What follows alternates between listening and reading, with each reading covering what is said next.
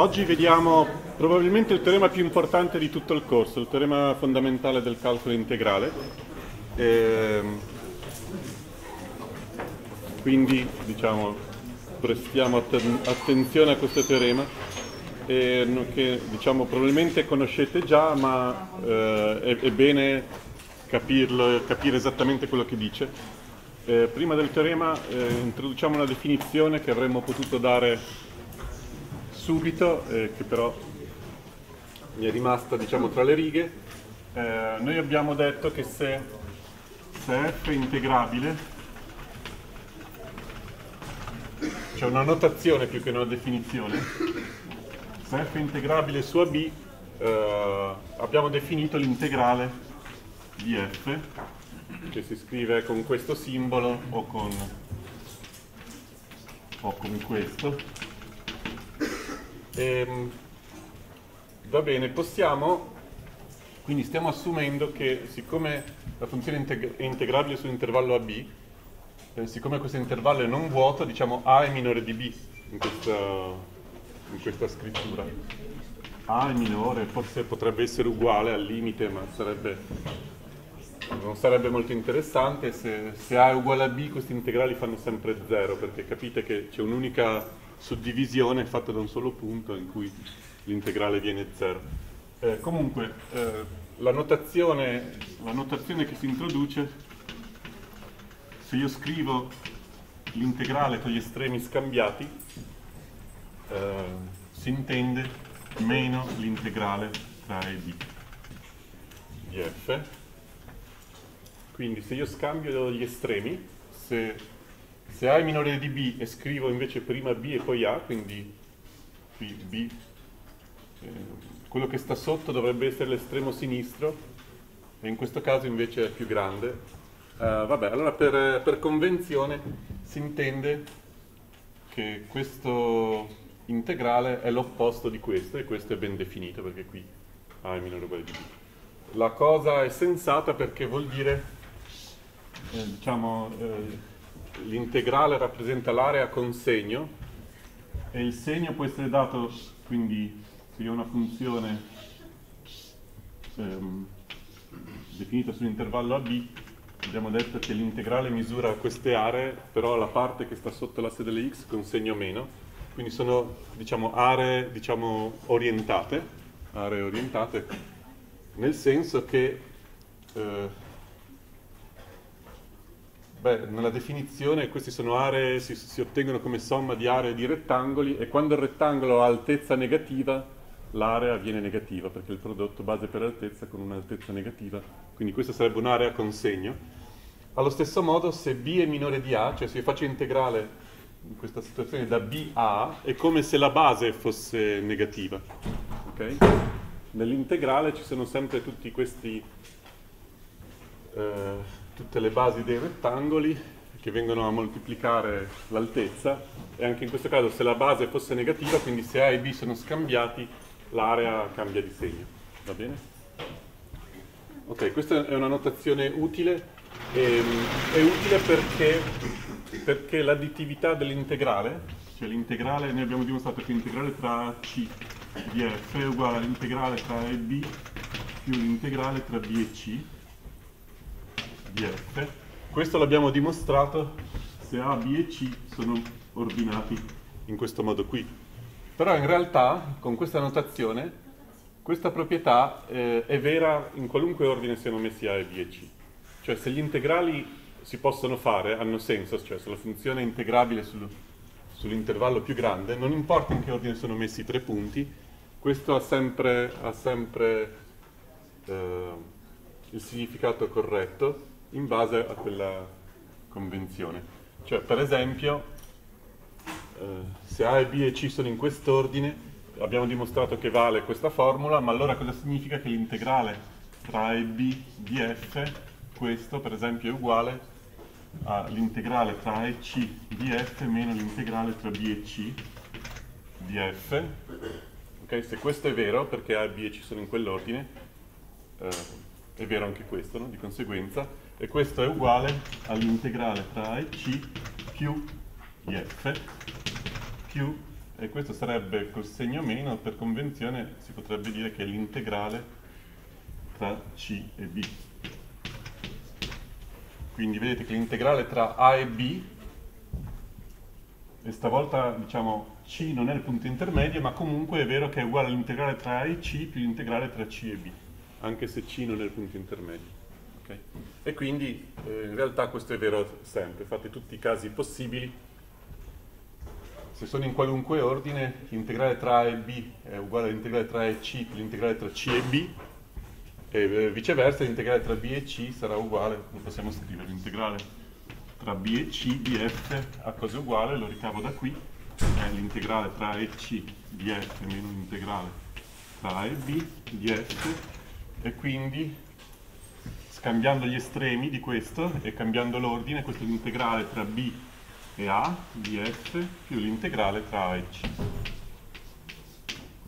Quindi diciamo qui avevamo A minore di B minore di C e l'integrale tra A e C è uguale alla somma dei due integrali qui abbiamo eh, di nuovo diciamo eh, l'ordinamento è sempre lo stesso però vedete che ho scelto prima gli estremi poi primo, i primi due poi i secondi due e vale sempre la stessa formula quindi questa formula vale eh, diciamo in qualunque ordine sono, sono messi A, B e C questa formula è valida ma è solo una convenzione, diciamo, se gli estremi non sono ordinati eh, c'è un cambio di segno. Va bene, quindi, um, quindi possiamo enunciare il teorema fondamentale del calcolo integrale.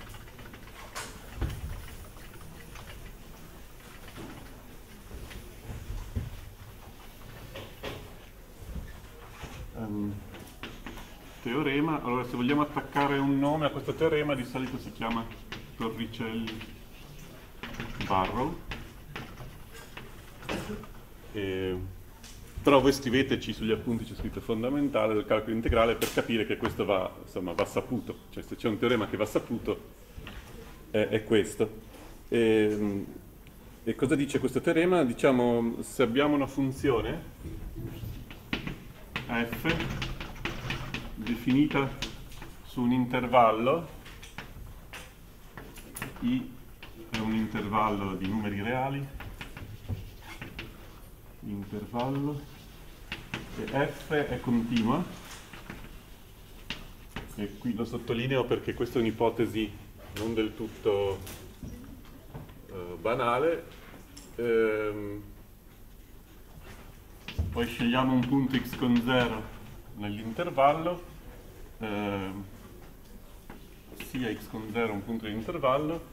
E sia, consideriamo questa funzione f grande che si chiama funzione integrale, cioè consideriamo eh, ora l'integrale tra x con 0 che è un punto fissato e x un estremo variabile, quindi la funzione integrale è una funzione che è uguale all'integrale, ricordatevi che l'integrale è un numero, non è una funzione, ma se un estremo di integrazione è variabile, questo diventa una funzione di quell'estremo, quindi l'integrale della funzione f piccolo. E ora qui, eh,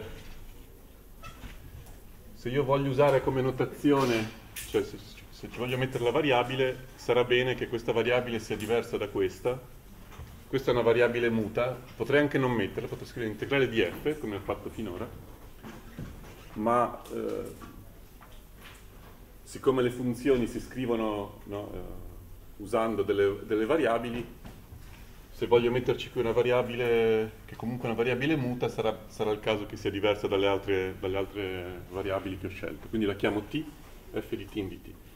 Ok? È chiaro cos'è questa? Funzione integrale, quindi io ho una funzione f, questo è il suo grafico, y uguale f di x, ho scelto un punto x con 0 eh, e al variare di x io sto considerando la funzione che mi dà l'area eh, sottesa dalla, dal grafico della funzione. Quindi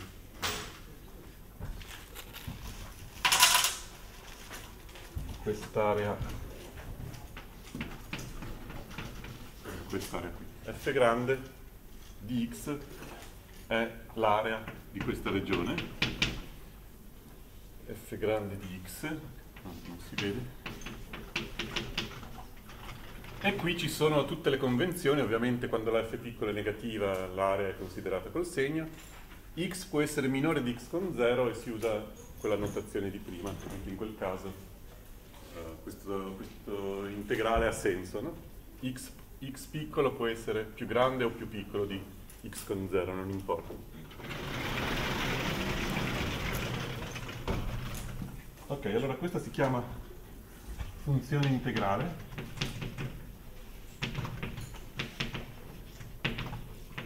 perché è definita mediante un integrale.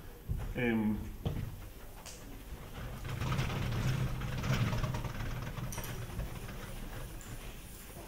e questo teorema cosa mi dice? Mi dice una cosa eh, fondamentale che, che diciamo, è stata una scoperta uh,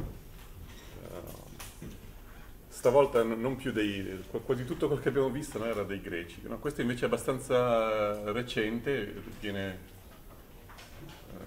non lo so, penso sia stato osservato da Newton, eh, Leibniz, insomma eh, la, la, la, scoperta fondamentale è che la funzione integrale ha un legame con le derivate, perché allora la funzione integrale è derivabile e, e vale che cosa? Che la sua derivata non è altro che la funzione integranda eh, quando io integro una funzione, questa è la funzione, si può chiamare funzione integranda. Eh. Ok, quindi sto dicendo che uh, l'integrale di una funzione continua, se io faccio variare un estremo di integrazione, quello superiore, poi magari vediamo cosa succede, se varia quello inferiore non cambia molto, ma diciamo, in realtà è importante che sia quello superiore, e, beh, allora ottengo una funzione la cui derivata è la funzione integrale. In particolare, per calcolare l'integrale sarà sufficiente invertire l'operazione di derivata, quindi l'integrale e la derivata in certo senso sono uno l'inverso dell'altro. No? Questo è il concetto fondamentale di questo teorema che integrare una, fun una, funzione, nel senso di costruire la funzione integranda, è l'operazione inversa della derivata. Ok? Lo ripeto, no? Perché se f grande è l'integrale di f piccolo, allora f piccolo è la derivata di f grande. Eh, va bene? E poi c'è un'osservazione che poi è quello che si usa in pratica, che si chiama inoltre, diciamo, si chiama formula fondamentale. Inoltre, se eh, G è una qualunque funzione con questa proprietà, ora vedremo che, come spesso accade, no, eh, in realtà eh, non c'è un'unica inversa, cioè queste funzioni che hanno come derivata f piccolo ce ne possono essere più di una, ce ne saranno infinite. Se G ha questa proprietà, se G è una funzione, è una funzione derivabile tale che g' è uguale a f di x, cioè se g, g potrebbe essere f grande stesso, potrebbe essere la funzione integrale, ma potrebbe essere una qualunque altra funzione che ha questa proprietà, che la sua derivata è f piccolo, allora io cosa scopro? Che l'integrale, posso, posso calcolare l'integrale tra due punti qualunque di f, l'integrale tra b di f non è altro che g di b meno g di a. E questo si chiama, diciamo, questo è, è importante, lo riquadriamo due volte e si chiama eh, formula fondamentale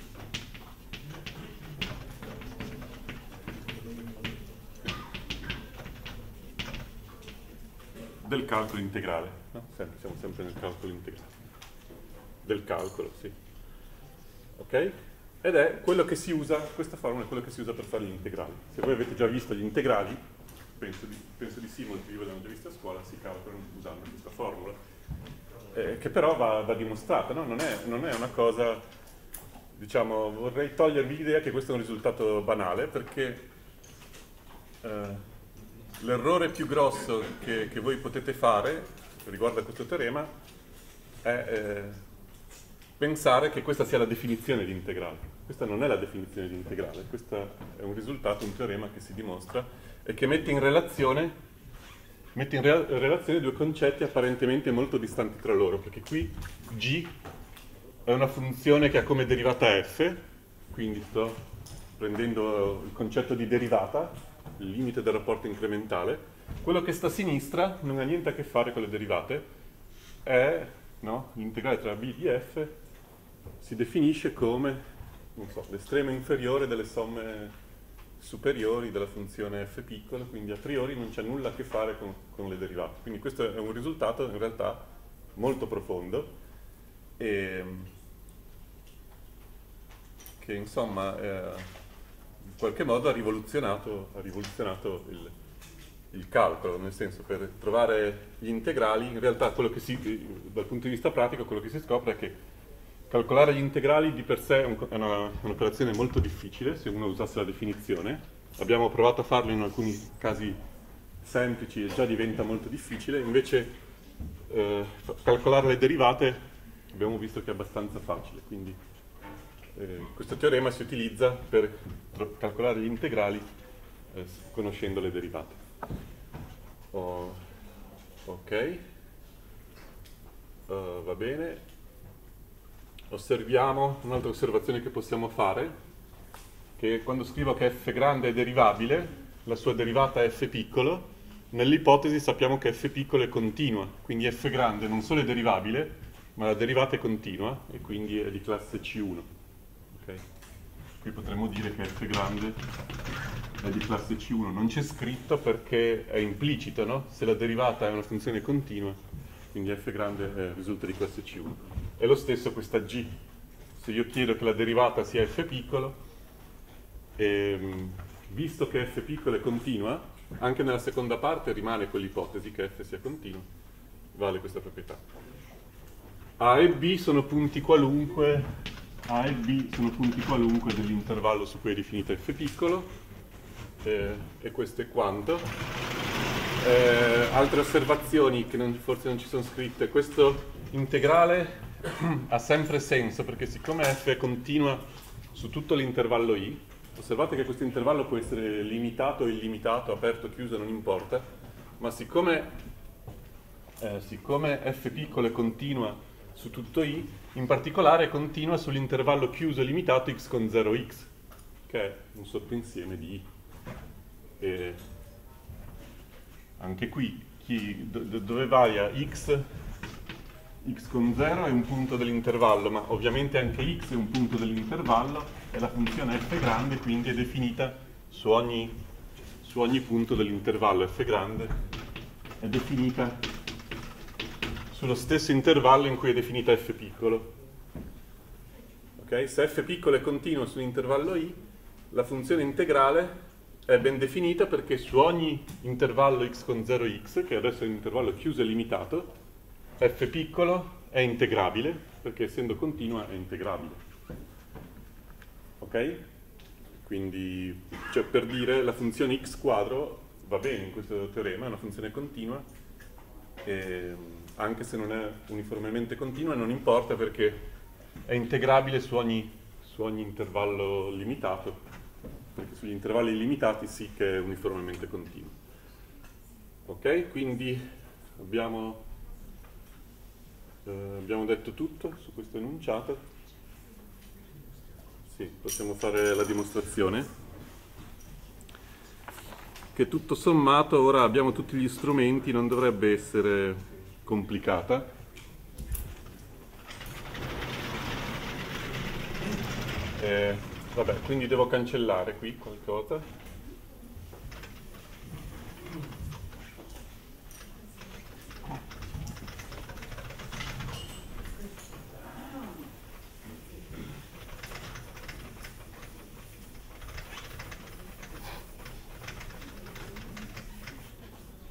Quindi dimostrazione, dobbiamo dimostrare, f grande abbiamo detto è ben definita, è, è l'integrale eh, per ogni x, quello è un integrale di una funzione integrabile, quindi è ben definito, dobbiamo dire che è derivabile in ogni punto, beh, quindi consideriamo il rapporto incrementale di f grande, f di x più h meno f di x basso h, e vorremmo dimostrare che per h che tende a 0 questo limite esiste ed è uguale proprio a f piccolo. Quello che dobbiamo dimostrare è che la derivata di f grande è f piccolo in ogni, in ogni punto x. Va bene, ma questo che cos'è? Questo è l'integrale, eh, no, ricordatevi f grande, di x più h, al posto di x ci devo mettere x più h, quindi questo è l'integrale tra, tra x con 0 e x più h di f piccolo. Lasciatemi scrivere semplicemente f piccolo, non è, quella variabile non, non è rilevante, eh, meno l'integrale x con 0 e x di f piccolo, tutto diviso h. Allora, per l'additività che abbiamo appena visto, comunque siano questi x, x con 0 e h, non importa se h è positivo o negativo, se x è maggiore o minore di x con 0, comunque questa differenza non è altro che allora, l'integrale tra x con 0 e x più h meno l'integrale tra x con 0 e x non è altro che l'integrale tra x e x più h di f e qui c'è 1 su h. Ok, questa è l'additività dell'integrale rispetto agli estremi. E in base alle osservazioni che ho fatto prima eh, non importa in che ordine sono, diciamo voi potete pensare che siano messi così, se sono, se sono messi in quest'ordine x maggiore di x con 0, x più h maggiore di x, avete l'integrale tra x con 0 e x più h, questo integrale, l'integrale su questo intervallo, meno l'integrale tra x con 0 e x meno questo integrale, ma siccome l'integrale tra x con 0 e x più h è la somma dei due integrali tra x con 0 e x e tra x e x più h, quando togliete uno dei due vi rimane l'altro. Ok? Cioè voi pensate al caso in cui siano tutti bene ordinati o a qualunque caso, in realtà, qualunque scelta voi poniate, questo è sempre vero. Oh, va bene. Ora, eh, se h è positivo, questo è, non è altro che la media di f. Possiamo usare il teorema della media. Eh, teorema della media integrale. Eh, vi ricordate? C'è l'ipotesi che f sia una funzione continua, quindi possiamo usare il teorema della media perché anche perché abbiamo questa ipotesi. E cosa vi dice il teorema della media? Che l'integrale tra e b di f diviso eh, l'ampiezza dell'intervallo b meno a, che in questo caso è proprio h, è uguale a f in un qualche punto, in un punto c del, dell'intervallo. Ora, questo è vero se h è positivo, ma in realtà è vero anche se h è negativo, perché anche il teorema della media integrale vale anche quando gli estremi sono scambiati, se h è negativo voi potreste dire, dovreste scambiare gli estremi, quindi vi cambia un segno, eh, quindi trovereste che f di c è uguale all'ampiezza dell'intervallo per, ehm, cioè che l'integrale, eh, che l'integrale tra, insomma se h è negativo, l'integrale tra x più h e x di f eh, diviso, eh, diviso il valore assoluto di h, perché h è negativo, questo è uguale a f di c. Ma visto che h è negativo, questo è proprio meno h, e questo è meno l'integrale, quindi diciamo funziona, eh, torna tutto, no? Se, se, h è negativo, voi dovete eh, voi cambiate gli estremi di integrazione, cambiate un segno, ma anche h qui cambia di è negativo, quindi ha un segno meno, insomma vale la stessa, la stessa identica cosa. Ok? Se h è negativo è vero questo, che è esattamente la stessa cosa, perché questo segno meno lo mettete sull'integrale e tornate a scambiare gli estremi di integrazione. Quindi, diciamo, il teorema della media integrale, di nuovo, vale anche se gli estremi sono scambiati. E se voi dividete non per il valore assoluto della, di b meno a, ma dividete proprio per b meno a. Okay? Quindi se, se, gli estremi sono scambiati, b meno a è negativo. Ok. Va bene, allora questo c in realtà eh, dipende da h, dipende da h, ma eh, C sta, eh, di nuovo, eh, se, se, h è positivo sta nell'intervallo x, x più h, se h è negativo sta nell'intervallo x più hx. Eh, diciamo, vista, quello che possiamo dire è che c meno x è minore o uguale di h, dista da x meno di h sta in un intervallino, qui eh, diciamo l'idea in realtà è molto semplice, no? qui abbiamo preso x più h e la differenza tra i due integrali non è altro che l'area di questa piccola strisciolina. Quando faccio il rapporto incrementale, la differenza tra quei due integrali, quello che sta al numeratore, è questa piccola area blu, quando h è piccolo questa è una piccola area, e abbiamo visto che quest'area è uguale per il teorema della media al valore della funzione in un punto C che sta qui in mezzo. C'è un punto C, diciamo l'area di quella regione blu è equivalente a un rettangolo di altezza f di c, dove c è un punto intermedio, e di base h. Quindi se divido per h mi rimane f di c, divido per h mi rimane f di c, ma questo C ora quando H tende a 0 eh è costretto a tendere a X. Perché sta in questo intervallino. Eh, se H tende a 0 C tende a X perché dista da X per meno di H e quindi F di C di nuovo siccome F continua se C tende a X F di C tende a F di X qui di nuovo abbiamo usato la continuità, continuità che avevamo già usato anche nel teorema della media. Il teorema della media richiede la continuità e poi di nuovo usiamo la continuità anche per concludere. Va bene? Quindi questo limite esiste ed è uguale a f di x, quindi la funzione f grande è derivabile e la sua derivata è f piccolo. Questo conclude la prima parte del teorema e va bene? Quindi avevamo tutti gli strumenti per, perché, per fare sì che questo teorema abbia una dimostrazione, una dimostrazione elementare, no? Sì. Sì, diciamo è un modo complicato per dire che se h è positivo, c sta in x, x più h. Però se h è negativo, x più h è minore di x e sta in questo insieme. Cioè potrei dire, se gli estremi sono scambiati non è chiaro cosa sia l'intervallo AB con, se B è minore di A. Dovrebbe essere un, un insieme vuoto di per sé. Quindi per dire che C, diciamo, C è compreso tra x e x più h. Ora non so se x più h è più grande o più piccolo di x, ma in ogni caso C è compreso tra i due, lo scrivo in questa maniera complicata. La cosa importante è che C quindi dista da x, questo, questo, punto C potrebbe essere a, a, sinistra di x quando h è negativo, anzi sicuramente se h è negativo si trova a sinistra di x ma non, non cambia niente, e in ogni caso comunque dista da x per meno di h, quindi se h tende a 0 C tende sicuramente a x. Va bene? Ora vediamo la seconda parte che anche in questo caso è semplicemente un'osservazione eh, importante, però in realtà è una eh, conseguenza di questo... è una banale diciamo un'osservazione.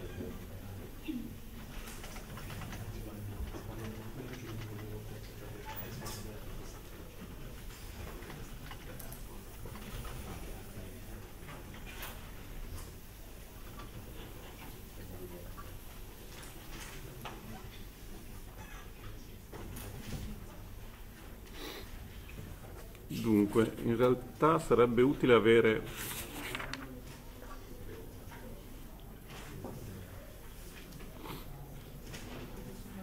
Vabbè, eh, seconda parte, quindi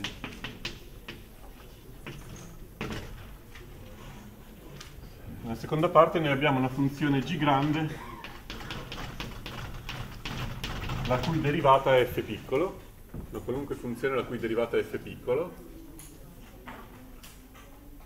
Ehm, diciamo qual è l'idea? Se G grande fosse F grande, noi abbiamo visto che F grande ha come derivata F piccolo, allora il risultato sarebbe ovvio perché eh, osserviamo questo, che f di B meno f di A, se io prendo la funzione f grande definita come l'integrale f grande di x è l'integrale tra x con 0 e x di f piccolo, eh, allora f, f, grande di b meno f grande di a, questo è l'integrale tra x con 0 e b di f piccolo meno l'integrale tra x con 0 e a di f piccolo e di nuovo per l'additività degli integrali questo non è altro che l'integrale tra a e b di f piccolo. Ok? Perché l'integrale tra x con 0 e b è uguale all'integrale tra x con 0 e a più l'integrale tra a e b. Questa è la solita additività dell'integrale. Ehm, quindi certamente questa è la formula fondamentale del calcolo integrale, l'integrale tra a e b di f è la funzione integrale, la differenza della funzione integrale calcolata negli estremi di integrazione, ma se è vero per f grande, in realtà è vero per ogni g perché c'è un risultato, un risultato generale, una, banalità, ma diciamo che, ci, che possiamo, gli possiamo dare un enunciato a parte, quindi osservazioni. Se eh, g' di x è uguale a f' di x, per ogni x appartenente a un intervallo, Uh, io dico che quindi ho due funzioni che hanno la stessa derivata ed è quello che succede qui perché abbiamo dimostrato che f grande ha come derivata f piccolo e g grande per, per ipotesi anche lei ha come derivata f piccolo. Quindi abbiamo due funzioni che hanno la stessa derivata. Allora io dico che se due funzioni hanno, hanno la stessa derivata su un intervallo, e questo in realtà è importante, allora esiste un numero C tale che G grande è uguale a F grande più C. Cioè due funzioni con la stessa derivata differiscono per una costante. Ok? E questa è un'osservazione importante eh, di per sé e lo si dimostra però eh, facilmente perché, perché io chiamo diciamo, questa costante cos'è? La differenza tra le due funzioni, quindi io chiamo h la differenza tra le due funzioni, questo sarebbe g grande meno uh, f grande, e quello che scopro è che se g grande e f grande hanno la stessa derivata, allora h, la derivata di h è la differenza delle derivate ma se hanno la stessa derivata questa differenza è 0. Allora una funzione che ha derivata 0 su un intervallo, per i criteri di monotonia, è costante. h è identicamente, a volte si scrive così, eh, qualunque sia x, h di x è uguale a c, è costante. Per i criteri di monotonia, perché la derivata è, diciamo, h è sia crescente che decrescente e quindi è costante. Um, l'abbiamo visto nei criteri di monotonia, no? cioè, diciamo, eh, uno se lo ricorda forse più, più facilmente così, h' maggiore o uguale di 0 implica che h è crescente, h' minore o uguale di 0 implica che h è decrescente, no? questi sono i criteri di monotonia, h' uguale a 0 significa che h è costante, perché è contemporaneamente crescente e decrescente, quindi è costante. O, se volete, diciamo, se vi ricordate come si dimostra, è semplicemente il teorema di Lagrange. ehm, è il teorema di Lagrange. Se, se avete una funzione che è derivata a nulla, per il teorema di Lagrange, il rapporto incrementale è zero in tutti i punti perché è uguale alla derivata in un punto intermedio, ma se la derivata è nulla vuol dire che il rapporto incrementale è sempre zero, vuol dire che la funzione è costante. Cioè se, se volete ridimostrarlo, questo è il teorema di Lagrange. Non è un fatto ovvio, no? La derivata di una costante è zero e questo è vero sempre. Eh, se la derivata è zero, e però c'è l'ipotesi importante, se siamo su un intervallo, allora la funzione è costante. Però l'abbiamo già visto questo, dovete, dovete fare mente locale e, e ricordarvi che l'abbiamo già visto. In ogni caso, insomma, si dimostra facilmente con il teorema di Lagrange. Okay? Va bene, allora se, se, è vero questo, e questo è un fatto generale che poi ora eh, riprenderemo, quindi è, è, va, è, bene, è bene saperlo, eh, se è vero questo, quanto fa GDB meno GDA? Beh, eh, G differisce da F per una costante, quindi questo, ora qui forse non mi sta, ma questo è F di B. G è uguale a F più una costante, quindi F di B più C meno F di A più C. GDB è F di B più C, GDA è F di A più C, c'è un segno meno in mezzo, la costante è la stessa, cioè G e F differiscono per una costante, vuol dire che in tutti i punti eh, c'è sempre stesso, la stessa differenza, quindi questo C si cancella e quindi rimane uguale, questo è uguale a F di B meno F di A. Okay? Se due funzioni hanno la stessa derivata, e se siamo su un intervallo, la differenza uh, delle due funzioni sullo stesso intervallo coincide. Okay? Cioè per voi fisici questa, questa, queste funzioni sono dei potenziali, no? voi sapete che il potenziale è definito a meno di una costante, non ci interessa quando, quando è, qual è il livello zero del potenziale, perché quello che mi interessa del, potenzia del potenziale è solo la, la variazione di, di potenziale, no? l'energia potenziale per esempio. Eh, è la stessa cosa che succede qui, insomma il potenziale è esattamente una funzione che ha derivata assegnata. Va bene, quindi questo dimostra anche la formula fondamentale e conclude, conclude il teorema. Va bene?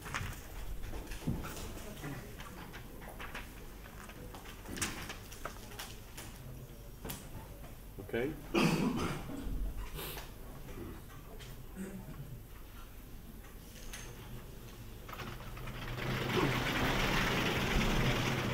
Allora, perché questo teorema è così importante? Beh, lo capiamo subito con un esempio.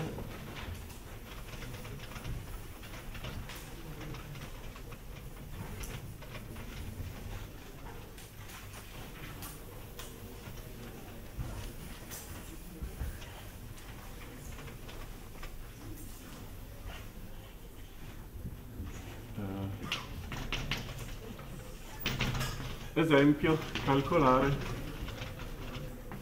Questo era un esercizio che io vi avevo lasciato per casa. Eh, calcolare l'integrale tra 0 e b di x quadro. Ora se uno questo si può fare con la definizione di, di integrale si può fare prendendo delle suddivisioni dell'intervallo 0b prendendo quindi le somme superiori, somme inferiori, si calcolano, si sceglie una suddivisione opportuna, magari in intervalli equispaziati, per cui riesco a calcolare la differenza tra somme superiori e somme inferiori, riesco a dimostrare che tende a zero, quindi questa funzione riesco a dimostrare che è integrabile, poi trovo quella somma utilizzando una, sapendo quanto fa la somma di k quadro per k che va da 1 a n, quant'è la somma dei primi k quadrati, no? Eh, perché in quelle somme parziali viene una cosa del genere. Questo è una, un qualche polinomio di terzo grado in n, che non mi ricordo.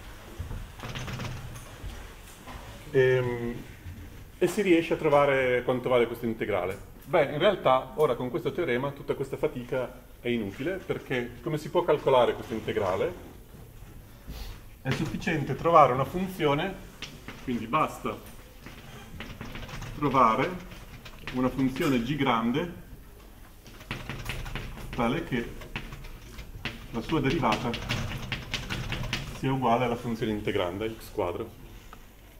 Ok? E ora, quindi, quello che faremo questa settimana sarà eh, imparare a risolvere questo problema, cioè trovare quello che chiameremo le primitive di una funzione, cioè funzioni che hanno come derivata una certa funzione data. Mi viene data una funzione, voglio invertire l'operazione di derivata, trovare una funzione g grande che ha come derivata la funzione f piccolo, ma diciamo uno in questo caso può andare per tentativi e scopre che per esempio g grande di x, x cubo terzi ha questa proprietà. Per verifica diretta, la derivata di x cubo terzi, la derivata di x cubo è 3x quadro diviso 3 fa x quadro. Quindi questa funzione, comunque sia diciamo, piovuta dal cielo, ha questa proprietà, ha come derivato x quadro e quindi posso utilizzarla nel teorema fondamentale e quindi so che l'integrale tra 0 e b di x quadro non è altro che g di b meno g di 0 che è b cubo terzi g in 0 fa 0 e quindi è b cubo terzo. Ok? Molto semplice, rapido e, e veloce.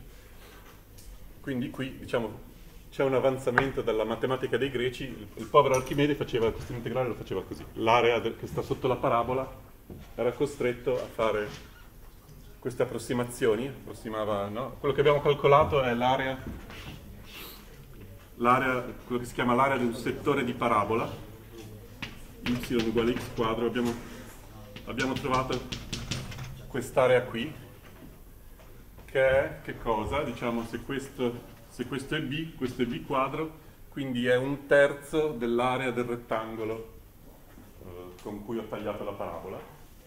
Il rettangolo avrebbe area base b e altezza b quadro, quindi area b cubo, e in generale l'area di un settore di parabola è un terzo dell'area del rettangolo corrispondente. Questo era noto, era noto ai greci, ma certo non lo dimostravano così. Quindi questo è un, forse per la, diciamo, il primo vero netto avanzamento rispetto al, a quello che facevano già, eh, già direi 2000 anni fa. Ok, comunque, e questo è, è, più, è più recente, sì. Quindi ora noi vogliamo eh, eh, raffinare questa tecnica di eh, invertire la derivata. Cioè, abbiamo una funzione, in questo caso avevamo x quadro, il problema è risolvere questo problema, cioè trovare una funzione di cui quella è la derivata.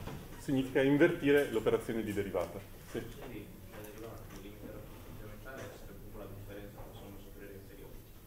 Eh, no, no, non è la differenza tra somme superiori e inferiori perché eh, sono, no, diciamo, sono cose diverse, no? perché eh, rifaccio il disegno di prima.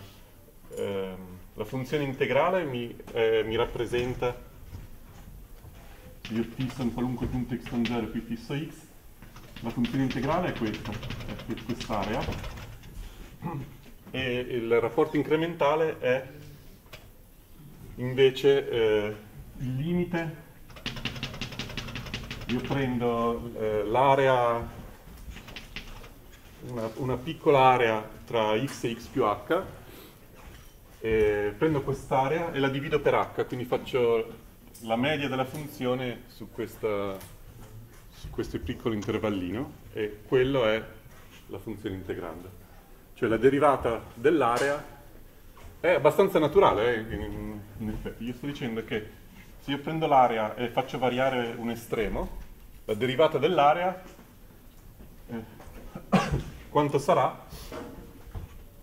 Eh, diciamo, è il limite dell'area di questa striscia diviso la base.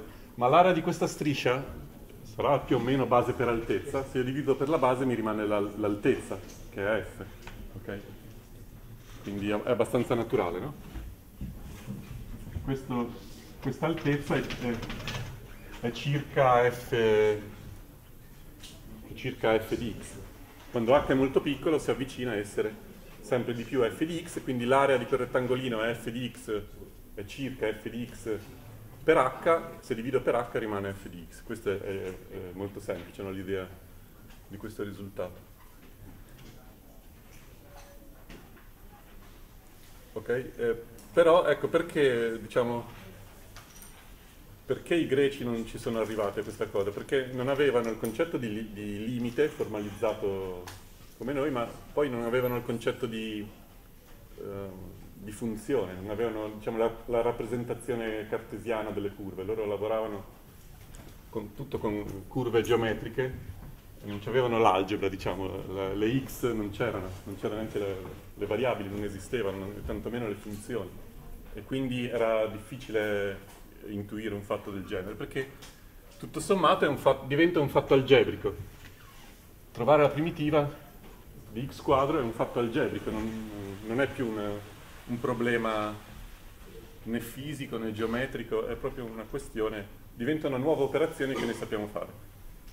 E, ehm, ed è quello che ora, che ora vogliamo, eh, vogliamo, fare perché d'ora in poi, eh, se voi dovete calcolare l'integrale di una funzione continua, probabilmente, quasi certamente, il metodo più semplice è questo, trovarne una primitiva, cioè una funzione la cui derivata è la vostra funzione, e valutare la primitiva negli estremi di integrazione.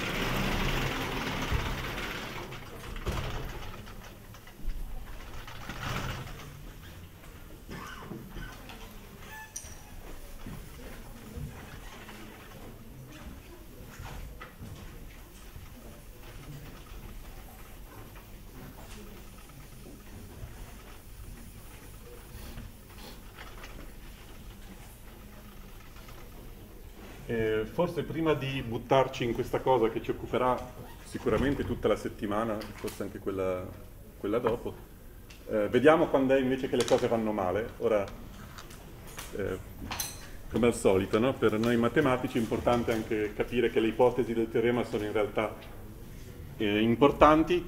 In particolare cosa succede se la funzione integranda non è continua? Quindi facciamo un esempio di Abbiamo fatto un esempio positivo dove le cose vanno bene. x quadro è una funzione continua, quindi si può applicare il teorema, il teorema fondamentale del calcolo. Eh, ma cosa succede se io ho una funzione che non è continua? Ad esempio, la più semplice funzione che mi può venire in mente è la funzione di Heaviside, che abbiamo già visto, mi pare, che vale 0 se x è minore di 0 e vale 1 se x è maggiore o uguale di 0.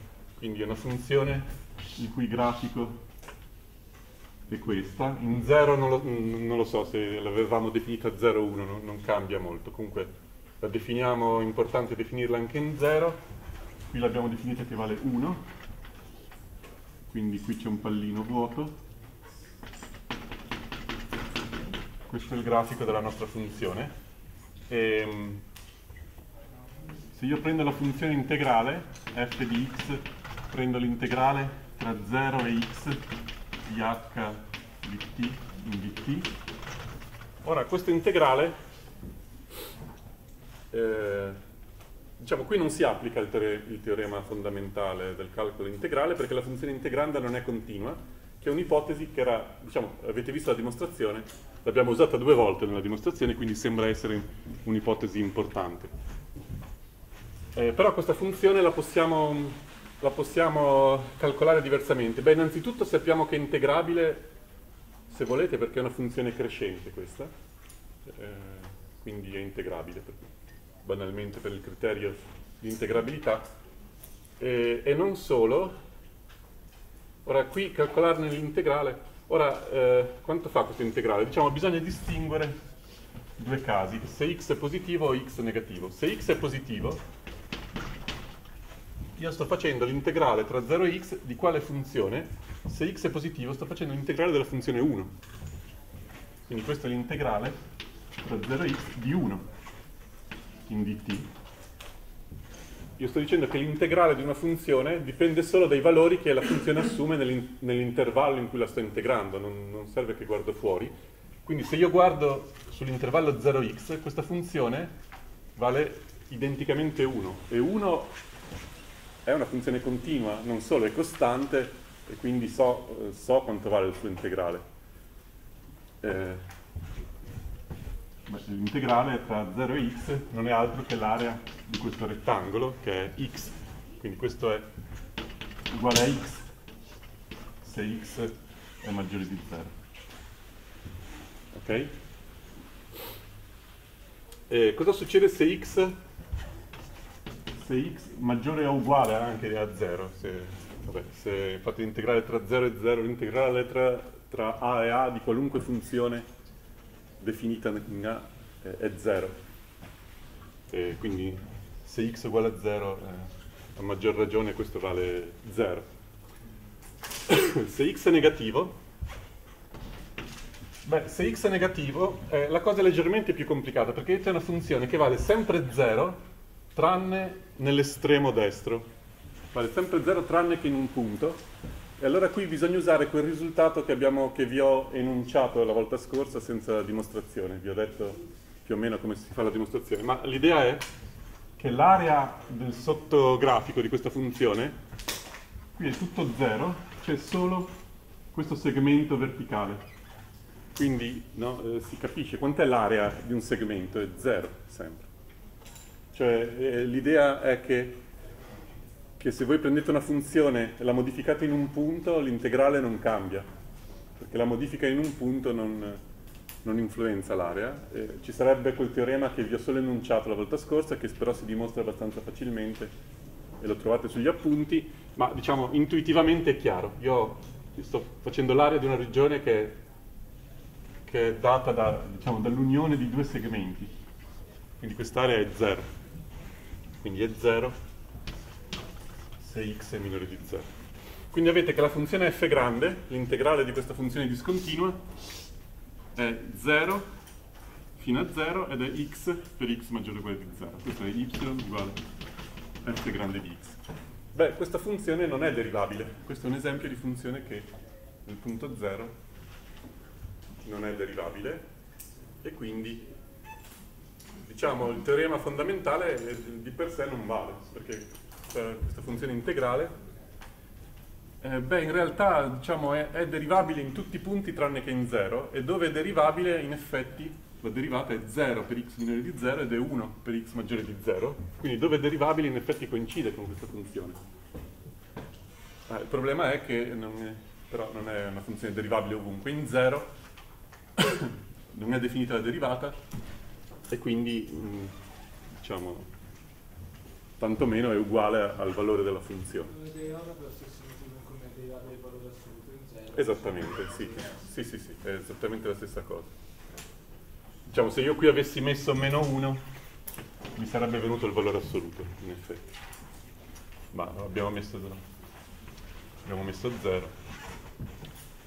Eh, va bene? Quindi questo è l'esempio di... Eh, la continuità è importante perché se la funzione integranda non è continua, come in questo esempio, la funzione integrale potrebbe non essere derivabile, ovviamente nei punti in cui la funzione integranda non è continua. Quindi se io sto lontano dal punto cattivo, io il teorema, il teorema fondamentale lo potrei utilizzare in un intervallo diciamo, sulle x positive o sulle x negative. Quindi non è sorprendente il fatto che questa funzione in realtà dove è derivabile ha ha la derivata giusta, cioè la sua derivata è uguale alla funzione integrale, però non è derivabile in tutti i punti e quindi il teorema per come ve l'ho enunciato non, non, può, non vale in questo caso.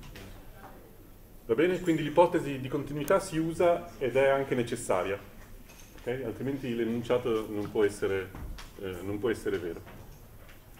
Quindi tolto il fatto che ci sono degli esempi in cui non si può applicare, almeno non direttamente, il teorema fondamentale, rimane, rimane il fatto che quando la funzione integrante è continua, diciamo, è comunque una situazione molto, molto generale e quindi ci dedichiamo ora a che cosa? Alla, alla ricerca della primitiva. Eh, quindi vi devo dire ne vogliamo risolvere questo tipo di problemi, e questa funzione g grande, ora vi do la definizione, questa funzione g grande si, si dice essere una primitiva di quella funzione integrando. Quindi introduciamo questo concetto.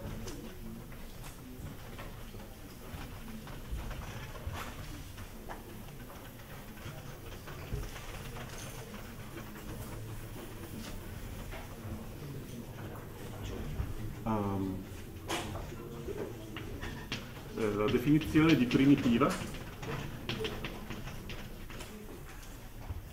uh, diremo che f grande è una eh, primitiva di, eh, di f piccolo semplicemente se la derivata di f grande è uguale a f piccolo. Ok? Come mai si chiama primitiva? Uh, il mio collega di, di, matematica che fa il corso di là, quando, siccome sa disegnare molto bene, eh, la ricerca della primitiva, lui disegna questo cavernicolo che, che cerca, che cerca la, la, la, la, sua ragazza, questa è la ricerca della primitiva. Vabbè, eh, questo uomo con la clava che porta per i capelli. Comunque, perché si chiama primitiva? Perché in effetti qui c'è f, qui c'è f grande e qui avete l'operatore di derivata. Cioè noi sappiamo fare le derivate, che vuol dire prendere una funzione e calcolarne la derivata. Quindi andare in avanti, qui fare la derivata, è quasi sempre un'operazione molto semplice eh, ma scoprire chi viene prima, cioè questa è, questa è la primitiva perché viene prima no? Della, di fare la derivata. Quindi andare all'indietro eh, scopriremo che è molto più complicato. Quindi, cioè, è vero che questo, che questo metodo semplifica di molto il calcolo degli integrali, però comunque non è così semplice come fare una derivata. Okay? Calcolare un integrale anche attraverso le primitive Beh, richiede di invertire l'operatore di derivata, quindi andare alla funzione che viene prima e, e questo comunque non sarà proprio banale. Come spesso accade, insomma, vedete anche in questo caso, eh, questo è un problema di trovare la funzione inversa, al solito capire, ehm, avete una funzione, in questo caso la derivata, volete trovare la funzione inversa che è appunto la primitiva. E va bene, quindi primitiva è un concetto banale e vedete che non c'entra niente con gli integrali. Cioè ora noi stiamo pensando, questo si chiama, spesso trovare la primitiva si dice integrare una funzione, ma perché c'è di mezzo il teorema fondamentale del calcolo integrale, perché di per sé trovare le primitive non c'entra niente con gli integrali, c'entra con le derivate. Noi potevamo questo problema studiarlo, appena introdotte le derivate potevamo chiederci studiare il problema di trovare la funzione inversa della derivata che in effetti per, gli anglosassoni ha un nome un po' più, più chiaro, invece che primitiva loro lo chiamano antiderivata. Uh, okay? per, per, capire che un concetto è legato alle derivate, non agli integrali. Okay? Questo è il solito, eh, diciamo, ci insisto molto perché capita sempre che, che qualcuno confonda le due cose, quindi la, integrare una funzione nel senso di trovare una primitiva c'entra con le derivate, non con gli integrali. Va bene, allora, quindi il nostro problema è trovare le primitive e giusto per, per complicare eh, ancora di più le, eh, il concetto, per mescolare le due cose, eh, introduciamo una notazione che è quello di integrale indefinito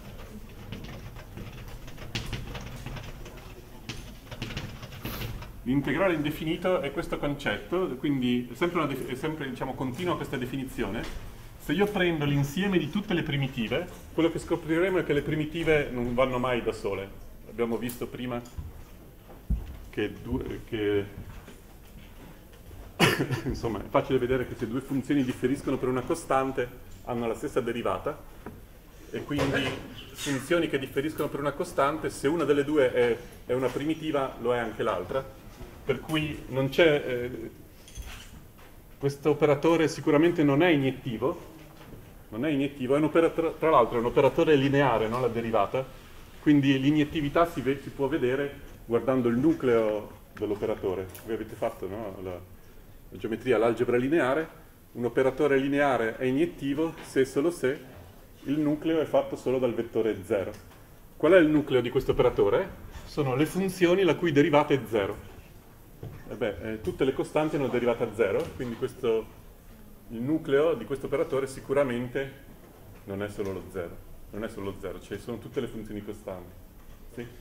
Quindi la funzione derivata non è, non è. Sì. Come faccio a dire che c'è la Eh, l'inverso? Esatto, ora, ora, vediamo in che senso, eh, infatti è un'inversa tra, tra virgolette. Ehm, quindi diciamo, se io faccio, in, in, questo senso, che io posso fare d meno 1, ora questo eh, ha perfettamente senso, no? d meno 1 dell'insieme f, cioè se io ho una funzione qualunque, non c'è la funzione inversa, ma io posso fare l'inverso di un insieme eh, di, di, di elementi. E questo mi verrà un insieme, cioè chi è d alla meno 1 di f, siccome f non è giustamente non è invertibile perché non è iniettivo, io però posso prendere tutte le controimmagini di un punto e ottengo un insieme di funzioni eh, che è l'insieme, diciamo, di meno 1 di f per definizione è l'insieme di tutti gli f grandi tali che f', f grande primo uguale f piccolo. Ok? La controimmagine di un punto sono tutti i punti che vanno in quello, cioè sono tutti i punti in cui d grande è f grande uguale a f piccolo, cioè la derivata di f grande è f piccolo, e cioè è l'insieme di tutte le primitive. Insieme di eh, tutte le primitive.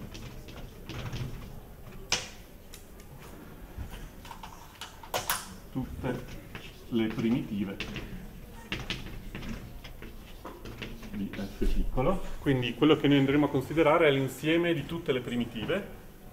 E questo come notazione okay, non c'entra niente con gli integrali, allora per confondere le idee lo chiamiamo integrale indefinito, integrale indefinito di f. E anche qui potete metterci f di x in dx, se avete bisogno di scrivere la funzione con una variabile potete mettere quella una variabile muta e questo si chiama integrale indefinito. Perché si chiama integrale indefinito? Perché ora, ora capiremo come mai usiamo questo simbolo. Okay? La cosa importante che voi vi accorgete della definizione è che l'integrale qui non c'entra. Io sto parlando di invertire la derivata, eh, però c'è il teorema fondamentale che mi dice che quando io inverto la derivata ottengo qualcosa che c'entra con gli integrali. Per questo motivo questo si chiama integrale indefinito perché eh, la notazione è quella degli integrali, solo che non sono definiti gli estremi di integrazione. Cioè dal punto di vista delle notazioni, io riconosco che questo non è un integrale ma è una primitiva, diciamo, perché non ci sono gli estremi di integrazione qui, A e B. Okay? Quindi se ci sono i due estremi, quello è l'integrale, è un numero, se non ci sono gli estremi è un insieme di funzioni le cui derivate sono la funzione tra virgolette, integrando. No, che integrale è definito come se fosse sottoculante? No, no, non, non, non, c'entra, ecco, non c'entra niente. Vedremo gli integrali su tutto R, ma non sono la stessa cosa. No, questo è un insieme di funzioni. Ok? Sono tutte le primitive e di, eh, insomma, insisto, non c'entra con gli integrali, se non per il nome che gli diamo e per il simbolo che gli diamo. Cioè, come mai in realtà c'entra con gli integrali? Perché cosa mi dice il teorema fondamentale del calcolo integrale? Mi dice che se f è continua, cosa che qui non era, diciamo, per definire la primitiva io non, non, non ho bisogno di chiedere che f piccolo sia continua. È possibile che una funzione, è possibile, non è molto facile, abbiamo visto un solo esempio, ma è possibile che una funzione non continua sia la derivata di qualcosa, e se ci pensate un attimo è un esempio che abbiamo già visto. Ok?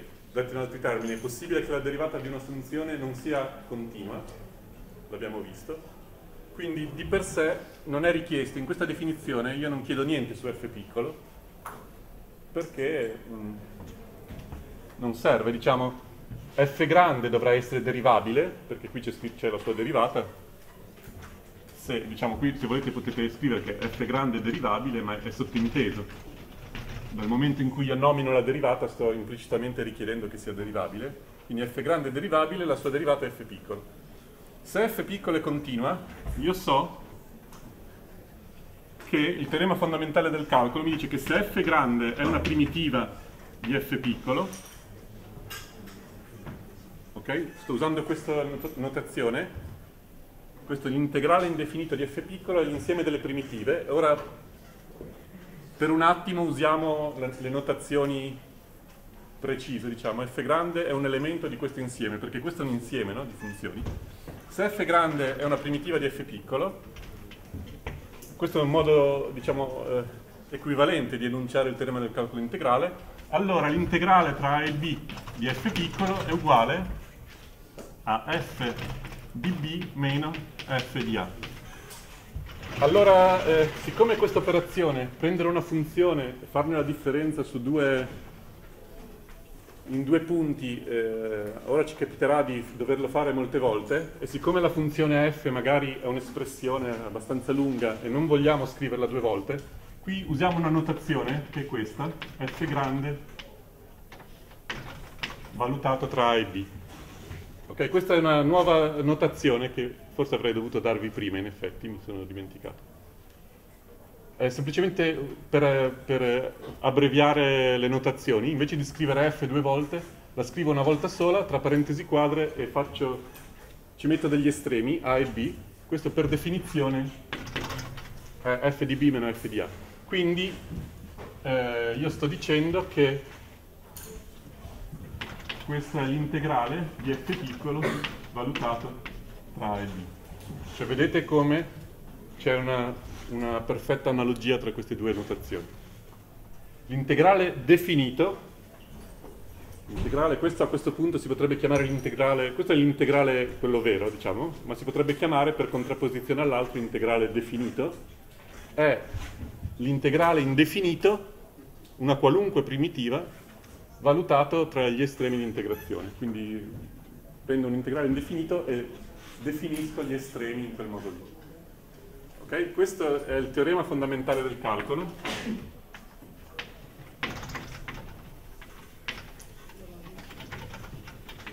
Qui ho usato, qui, ho usato il teorema fondamentale del calcolo, quindi il fatto che ci sia un legame tra l'integrale indefinito e l'integrale è dovuto a questo teorema, non è una definizione, ok? Quindi in particolare l'integrale, eh, ripeto no, ormai per la terza volta, l'integrale tra b di f defi- la sua definizione non è questa, questa non è la definizione di integrale, non significa prendere una primitiva e valutarla tra e b, quello è il metodo, è un metodo che noi usiamo per calcolarla, ma la definizione è diversa. Ok? Allora questo giustifica, giustifica uh, questa notazione, cioè noi usiamo la stessa notazione degli integrali la usiamo per le primitive, perché in effetti c'è un legame tra primitive e integrali. E quello che faremo, noi ora diremo che stiamo integrando le funzioni, quando in realtà stiamo cercando le primitive, perché in effetti cercare le primitive è sostanzialmente equivalente a, a trovare gli integrali. Quindi c'è questo, questo abuso, se volete, di notazione che vi fa sempre pensare che gli integrali siano le primitive. Non è così, c'è un teorema eh, che lega le due cose. Sì.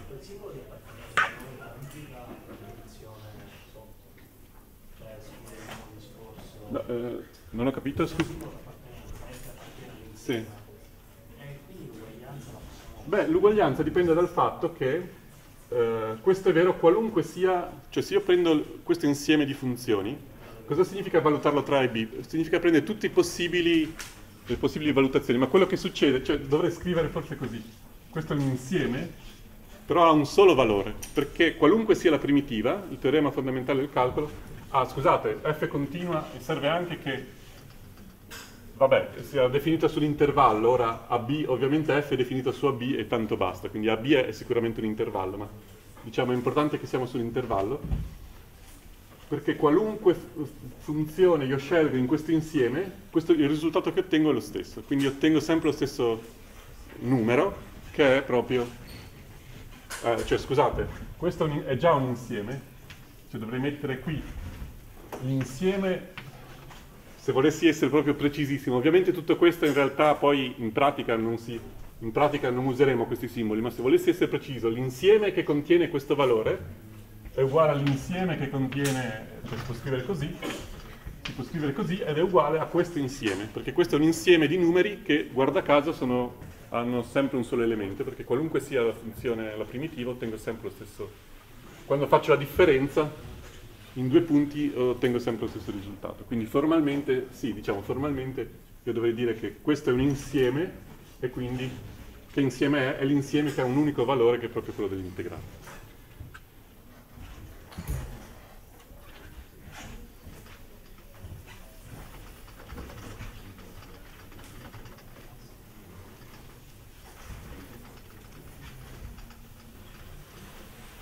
Oh, va bene, allora.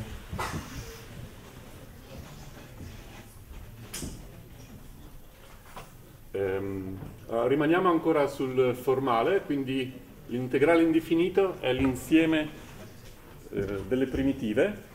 E quindi osservazione o teorema, osservazione, cioè l'osservazione che abbiamo già fatto, l'abbiamo già fatto se f appartiene a, se f è una primitiva, è l'osservazione che abbiamo già fatto durante la dimostrazione del teorema fondamentale. Se f', primo, se f grande primo è uguale a f piccolo, cioè se f grande è una primitiva di f piccolo, ehm, allora f grande più c pure è una primitiva di f piccolo. Cioè se io sommo una costante per ogni c appartenente a R, f grande più c è ancora una primitiva. Cioè se io sommo una costante a una primitiva, ottengo un'altra primitiva. Vuol dire che l'insieme delle primitive, se non è vuoto, ora vediamo se secondo voi potrebbe essere vuoto l'insieme delle primitive, se l'insieme delle primitive non è vuoto, sicuramente ha infiniti elementi, perché se c'è anche un solo elemento, io ci sommo una costante, f più 1, per esempio, anche quella è una primitiva, perché... Eh, in quanto perché in realtà questa è l'altra implicazione. Nel teorema abbiamo usato il fatto che se due funzioni sono primitive della stessa su un intervallo, allora differiscono per una costante. Ma il viceversa è vero anche se non siamo su un intervallo. Se io eh, sommo una costante a una qualunque primitiva, ottengo ancora una primitiva, perché la derivata di f più c è f' più 0, perché la derivata della costante è 0 uguale a f' che è uguale a f perché questo significa che f grande primo è uguale a f piccolo. Ok? Quindi l'insieme delle primitive non avrà mai un solo elemento, non avrà mai un numero finito a meno che non sia zero, eh, non, non sia vuoto. E questo può succedere per esempio nell'esempio nel caso di prima. Se voi, se voi prendete la funzione di Heaviside, quali sono le primitive di questa funzione? Eh, beh, provate a dimostrare che non ce ne sono. Quindi, eh, esempio, eh, l'integrale di h, la funzione di Heaviside, è l'insieme vuoto, non ci sono primitive di questa funzione. Nessuna funzione può avere come derivata la funzione di Heaviside e eh, provate a pensarci, questo è un esercizio che dovreste saper fare abbiamo tutti gli strumenti per verificarlo, eh, però forse un po' dal punto di vista teorico, insomma, bisogna ragionare proprio dal punto di vista teorico. Eh, è possibile che l'insieme delle primitive sia vuoto? Beh, non certo quando la funzione integrande è continua, perché se la funzione integrande è continua e eh, su ogni intervallo il teorema fondamentale del calcolo integrale mi dice che quantomeno la funzione integrale è una primitiva. Eh, se f è continua eh, definita su un intervallo,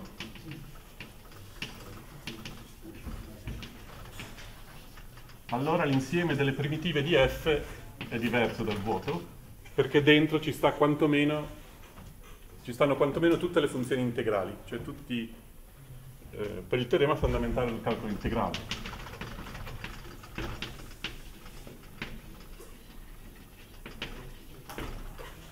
Perché, diciamo, ci sta quale funzione cioè vedete che qui, qui, si usano gli integrali, qui usiamo veramente gli integrali, perché non c'è un, te un, teorema astratto che vi dice che data una funzione continua c'è una funzione che ha come derivata quella funzione. Questo teorema non c'era fino adesso, è il teorema fondamentale del calcolo integrale, perché come fate a costruire a forza, data una funzione continua qualunque, di cui non conoscete un'espressione analitica, eh, saprete solo che è una funzione continua. Come fate a costruire una funzione che ha come derivata proprio quella funzione continua? L'unico modo è il teorema fondamentale del calcolo integrale. Definite f di x come l'integrale per x più 0 x di f piccolo. Allora f grande appartiene all'insieme delle primitive. Questo vi dice il teorema fondamentale del calcolo integrale. Ok, quindi in particolare questo insieme non è vuoto, per, diciamo, per, farvi capire ancora di più questo esempio, per chi già conosce gli integrali, eh, l'integrale di e alla main x quadro in dx eh, non è vuoto, cioè ci sono primitive, la funzione e alla main x quadro ha primitive, che però noi scopriremo non siamo in grado di scrivere sostanzialmente. Cioè, questa è una funzione continua, e alla main x quadro, noi ora svilupperemo tutta una tecnica per trovare le primitive no, di una funzione. Beh, in questo caso la, le, tutte le nostre tecniche falliscono perché non c'è nessuno strumento di quelli che io vi, vi insegnerò che vi permette di scrivere una primitiva di questa funzione, cioè di trovare una funzione che abbia come derivata e alla min x quadro. Okay? Si può addirittura dimostrare che, che questa, le primitive di queste funzioni non si scrivono mediante funzioni eh, le funzioni elementari che noi conosciamo. ok, quindi però esiste eh, la primitiva, le primitive di questa funzione esistono, questo è diverso dal vuoto, esistono delle funzioni che hanno, solo che non riusciamo a scriverle. Okay? Um, va bene. Quindi, l'insieme delle primitive può essere vuoto, ma solo se la funzione integranda non è continua se la funzione integrale è continua, o diciamo anche definita su un intervallo, ora vedremo cosa succede se la funzione è definita su un'unione di intervalli, questo non è così, così grave, insomma, che sia definita su un intervallo è rilevante, però si può in qualche modo ovviare a questo problema. Se la funzione è continua, il teorema fondamentale del calcolo integrale vi dice che esistono delle primitive, che sono ad esempio le funzioni integrali, sono tutte primitive. E, e poi abbiamo questa osservazione che se esiste una primitiva e io ci sommo una costante, quella è ancora una primitiva. Quindi l'insieme delle primitive, appena non è vuoto, eh, diventa infinito e quindi diciamo, non, non, sarà mai una singola, una singola funzione. Ehm, ecco, l'osservazione, questa osservazione si può invertire, cioè l'insieme delle primitive è dato da una qualunque primitiva più una costante se siamo su un intervallo. Quindi, e questo è quello che abbiamo visto prima. Diciamo viceversa, qui possiamo aggiungere viceversa se f è definita su un intervallo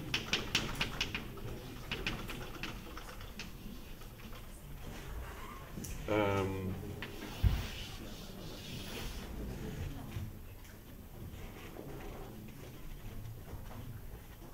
allora l'insieme delle primitive, le primitive di f, eh, saranno tutte della forma f più costante, con c che varia in r, con f una qualunque primitiva.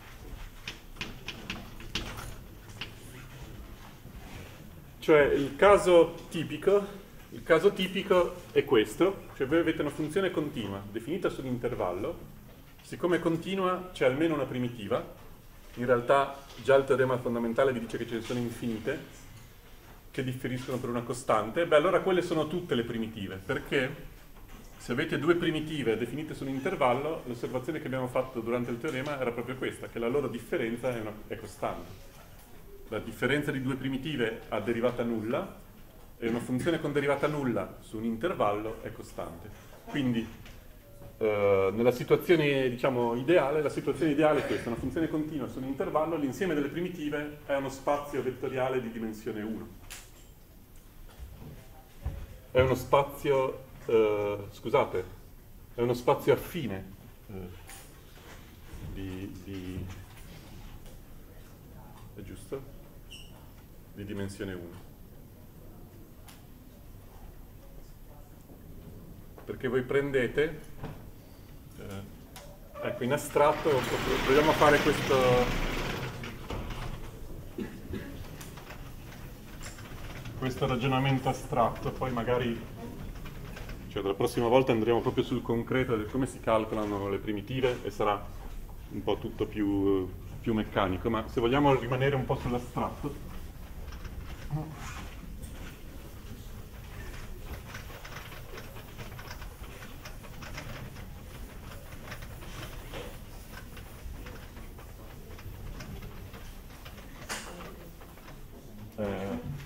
mettendo assieme tutte queste osservazioni cosa, cosa possiamo dire? Che se f guarda i in r, i intervallo f continua, beh è un fatto che voi a geometria probabilmente avete visto, allora eh, l'integrale, l'insieme delle primitive di f eh,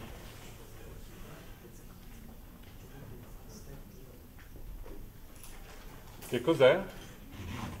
È la controimmagine, la controimmagine del singolo punto. No, qui i punti di, questo, di questi spazi vettoriali sono le funzioni. Quindi la controimmagine di una funzione è per definizione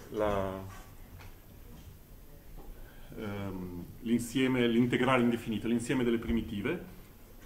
E sostanzialmente cosa state dicendo? Che c'è uno spazio vettoriale di, dimensione infinita, quindi questo un po' esce da quello che voi avete studiato, però in realtà questi teoremi sono validi eh, in generale sugli spazi vettoriali.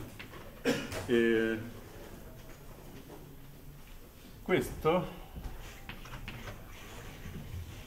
cosa uguale? Voi prendete un qualunque punto, un qualunque punto f grande, un qualunque punto f grande di questo insieme e ci sommate il nucleo di D. Cioè state dicendo che l'insieme delle primitive, eh, voi avete un punto di questo insieme, in qualche modo quello che faremo, scopriremo come trovare un punto, una funzione che ha come derivata f piccolo, tutte le altre sono uno spazio vettoriale, uno spazio, scusate, affine, che è parallelo al nucleo dell'operatore D. E chi è il nucleo dell'operatore D? Se siamo su un intervallo sono le funzioni costanti. E quindi questo è l'insieme degli F più C con C costante. Ok, qui c'è F, qui c'è 0, questo è il nucleo dell'operatore D, che sono in realtà le costanti. Queste sono tutte le costanti. Un, nel caso di un intervallo è uno spazio di dimensione 1 eh, dato dalle funzioni costanti. Questo è uno spazio vettoriale ovviamente, no? perché c'è lo 0, se sommate due costanti rimangono, rimane una costante, è combinazione lineare di costanti una costante, e questo è uno spazio vettoriale e questo è uno spazio affine parallelo ad esso. Va bene, quindi l'idea è che in generale, um, in generale se io trovo una funzione che sta in questo spazio delle primitive, io sostanzialmente ho identificato qual è lo spazio di tutte le primitive. Quindi eh, in pratica, invece di scrivere che l'integrale di f piccolo eh, diciamo che contiene una certa funzione f, questo è quello che mi interessa, trovare almeno una funzione in questo insieme, perché poi tutte le altre vengono di conseguenza Invece di scrivere così, scriveremo che l'integrale di f piccolo è uguale a f grande. con eh, abuso di notazione, ma questo è comune, come facevamo con gli O piccolo, no? vi ricordate? Anche negli O piccolo noi scriviamo sempre uguale O piccolo, in realtà anche lì erano, erano delle inclusioni. Beh, lo stesso tipo di abuso di notazione si fa qui, cioè quando vi scrivo che l'integrale indefinito di una funzione f piccolo è uguale a f grande, io intendo che f grande è una delle primitive di quella funzione, non è l'insieme di tutte le funzioni. Esempio, io scriverò eh, che l'integrale del coseno di x in dx, qual è una funzione che ha come derivata il coseno? Il seno, è seno di x. E ora qui ci sarebbe un po' da discutere perché, eh, perché voi mi direte non è seno di x, è seno di x più c. Va bene, anche seno di x più c va bene. Però eh, diciamo, eh, quindi io se volete sono un po' più permissivo di quello che sarebbe necessario. Cioè per me va bene questa perché questa è, io lo interpreto così. Questa è una primitiva, un esempio di primitiva. Anzi, sono infiniti esempi perché mi immagino che quel c possa variare. Qui ci sarà scritto per ogni c appartenente a R, quindi questo è un esempio di infinite primitive e in questo caso queste sono tutte le primitive. Cioè in effetti questo è proprio un elenco di tutte le primitive e a parte il fatto che io eh, formalmente dovrei metterci qui l'insieme, eh, diciamo è giusto, no? Ho trovato tutte le primitive. E, ehm, il problema è che non sempre eh, siamo in questa situazione, cioè non sempre, qui il problema è che non sempre l'insieme di definizione è un intervallo. Per cui, eh, direi che questo è l'ultimo esempio che facciamo, giusto per confondervi le idee fino alla fine. Eh, cosa succede se non siamo su un intervallo?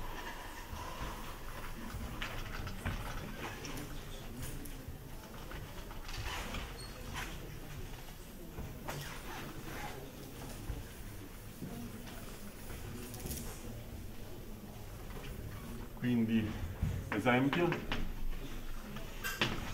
qual è l'insieme più semplice, la funzione più semplice che non è definita su un intervallo? Beh, la funzione per esempio 1 su x. 1 su x è definita su r meno lo 0.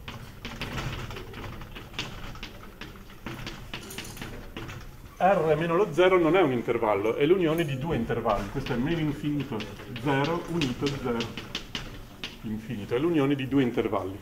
Allora qui le cose possono andare male, cioè male, vanno diversamente, non è che vadano male, vanno diversamente da quello che è il risultato generale, perché se io vi chiedo chi è l'insieme delle primitive di f, se io voglio sapere quali sono tutte le primitive di questa funzione, uh, beh, diciamo, una cosa che uno osserva, ora se voi non lo vedete, ma insomma lo, lo dovremo imparare, è che c'è una, una funzione che ha come derivata 1 su x, la conosciamo, una funzione definita su tutto questo insieme che ha come derivata 1 su x chi è? Cioè una funzione che sicuramente sta qui dentro è il logaritmo del modulo di x. Eh, lo sappiamo, l'abbiamo visto facendo le derivate, se vi ricordate, che la derivata del logaritmo di x è 1 su x, ma è definita solo per x positivo. Beh, ma anche la derivata del logaritmo di meno x è 1 su x, ed è definita per x negativo, e quindi la derivata del logaritmo del valore assoluto di x è una primitiva di questa funzione. Okay? scusate, il logaritmo del valore assoluto di x è una primitiva di 1 su x ed è definita sullo stesso intervallo su cui è definita eh, f. Allora, questa è una primitiva e quindi è giusto dire questo. Eh, se voi mi scrivete, però, se voi aggiungete una costante, stavolta non avete tutte le primitive. Cioè questo insieme se aggiungo una costante sicuramente ottengo una primitiva, quindi questo insieme è sicuramente contenuto nell'insieme delle primitive, ma è diverso. Ora voi mi trovate qual è una funzione, una primitiva di 1 su x che non si scrive come logaritmo di x più costante. Allora, logaritmo, logaritmo di x del modulo di x sarebbe questa funzione qui, se io ci aggiungo una costante, oltre a questa ci sto mettendo questa, è questa. Qual è una funzione che è ancora una derivata che ha ancora come derivata 1 su x, ma non è nessuna di queste funzioni qui.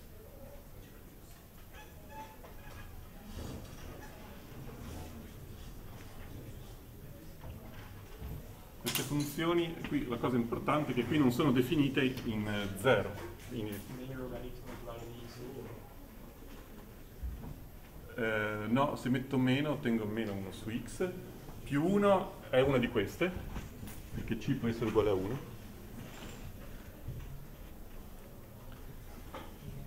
Però, scusate, eh, se la derivata di questa funzione arancione è 1 su x, la derivata della funzione bianca è 1 su x, che funzione potete costruire?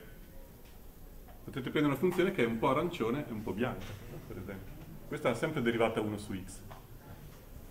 Quindi, eh, se voi prendete f di x che è il logaritmo del modulo di x, cioè il logaritmo di x se x è maggiore di 0, logaritmo di x più 1 se x è minore di 0, questa, no, se ci pensate un attimo, formalmente non è un elemento di questo insieme, perché ho sommato costanti diverse quando x è positivo e x è negativo. Sì, è una cosa proprio da matematici. Però è così, no? E in realtà questo non è solo, una, non è solo un dispetto del, che vi facciamo, perché in realtà è un fatto importante, cioè quello che succede qui è che il nucleo dell'operatore, cioè in effetti, chi è il nucleo dell'operatore derivata? In questo spazio, cioè l'operatore derivata dipende dallo spazio di funzioni che io prendo. Lo spazio di funzioni definite su R meno lo 0 è diverso dallo spazio di funzioni definite su tutto R e il nucleo di questo operatore stavolta ha dimensione 2 perché io posso scegliere una costante quando x è minore di 0 e un'altra costante quando x è maggiore di 0 e quindi ho un piano in realtà di, di soluzioni, il nucleo è un piano. E, questo è un fatto diciamo a noi non interessa, ok? Diciamo, a noi interessa solo per, per essere formalmente precisi e sapere quello che diciamo, ma è un fatto curioso che il nucleo dell'operatore derivata vi dà informazioni sullo spazio che state guardando. In questo caso sarà quel 2 che cosa rappresenta? È una proprietà topologica che è il numero di componenti connesse dello, dello spazio che state considerando. E questo è un fatto, diciamo, in situazioni più, più complicate, più complesse, è un fatto importante che la topologia del vostro spazio si vede, diciamo, a riflessi sullo spazio, di, sulle, su un, un, operatore differenziale. Questo è un, un, fatto che rivedrete il prossimo anno ad analisi 2. Eh, insomma, un fatto abbastanza importante. Eh, per noi è un accidente, diciamo, una cosa che va male, ma in realtà non è che vada così male, è, un, eh, è così, insomma, è giusto che sia così. Ok? Questo per, dire, questo per dire che se voi mi scrivete logaritmo di x uguale 1, eh, scusate, l'integrale di 1 su x è logaritmo di x più c, beh, allora qui, eh, qui ci sarebbe da discutere, perché questo più c, questo più c che significato ha? Non ha nessun significato perché o mi dite tutte le soluzioni e allora questo è sbagliato, o me ne dite una e allora è inutile, che mi mettete C, eh, per cui per questo motivo, a differenza insomma di forse di altri testi, per me eh, questo C si può anche non mettere e questo uguale non è un uguale ma è un, un appartiene. Cioè eh, formalmente eh, invece di considerare, quando io dico logaritmo di x cioè, come lo interpreto questa uguaglianza? Io non sto dicendo che, che il logaritmo di x è l'insieme delle primitive, sto interpretando questo simbolo non come l'insieme delle primitive, ma nel senso che questa uguaglianza vale quando il logaritmo è una primitiva. Questo significa che il logaritmo è una primitiva di 1 su x. Ok? Quindi ci sono due scuole di pensiero, o scrivete tutte le primitive, o ne scrivete una sola, sono tutte e due sensate, Ehm, però tutto sommato secondo me è più semplice scriverne una sola, perché scriverle tutte si rischia di, di dimenticarsi queste situazioni un po' particolari. Sì. Quindi che C, cioè aggiungere C. Eh, cioè dipende dal dominio, se la funzione è continua su un intervallo, io so, eh, il risultato generale è che l'insieme delle primitive basta aggiungerci C, se ne trovo una, tutte le altre si ottengono sommando una costante.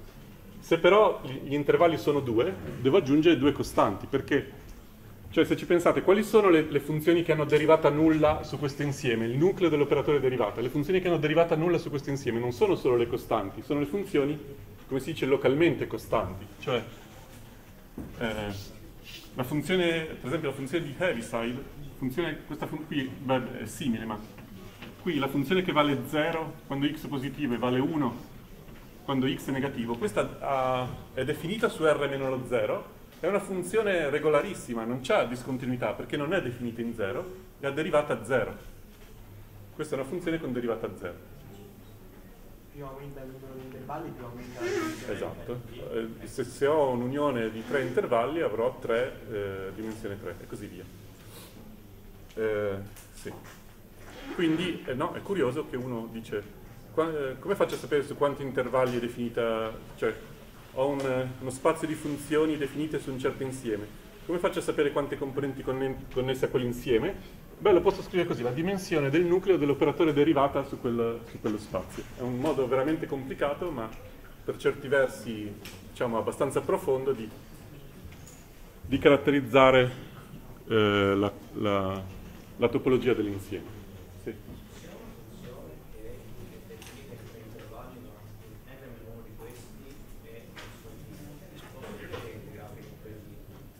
Allora, se la funzione è discontinua, io le primitive in generale non le trovo sullo stesso dominio, ma dovrò, se, io, se però tolgo i punti di discontinuità, eh, per esempio questo è l'esempio, la funzione di Heaviside, eh, diciamo il suo, il suo, problema è che lei è definita anche in zero e quindi non è continua, perché questa, se non la definisco in zero, come in questo caso, sarebbe una funzione continua, no? perché ricordate che continua significa continua in tutti i punti del dominio della funzione.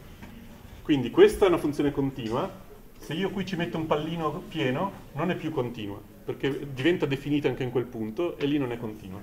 Allora se ci metto il pallino pieno, eh, il teorema fondamentale del calcolo non vale e formalmente non ci sono più primitive, cioè diventa vuoto, perché nessuna funzione in, in zero ha, può avere una derivata con un salto. Questo è il fatto che vi chiedevo di, di, di dimostrare, provate a pensarci. Non esiste una funzione che, ha, che che in un punto ha come derivata un salto, questo non è possibile farlo. Però se io, questo, cioè se io lo tolgo questo punto, cioè se io cerco le primitive su un insieme ridotto, allora le trovo, ma perché allora la funzione diventa continua. Cioè se tolgo il punto di discontinuità, io ho la funzione di Heaviside, tolgo questo punto, diventa continua, definita su due intervalli, trovo le primitive sui, separatamente sui due intervalli, le metto assieme e ho trovato tutte le primitive. Quindi, um, quindi questo è sì, come vanno le cose. Se è discontinua, l'idea è che io posso togliere, se tolgo i punti di discontinuità, eh beh, diventa continua e quindi mi, mi, riconduco alla situazione. A quel punto devo guardare se è definita su degli intervalli. Certo che se la funzione di Dirichlet eh, quella è discontinua in tutti i punti, eh, se tolgo i punti di discontinuità non rimane niente e in effetti quella non è neanche integrabile, quindi difficilmente avrà, avrà delle primitive. Va bene, qui, eh, allora dalla prossima, da mercoledì, ritorniamo un po' coi piedi per terra e ci mettiamo a calcolare queste primitive che poi sarà sostanzialmente il nostro obiettivo primario per il prossimo compitino.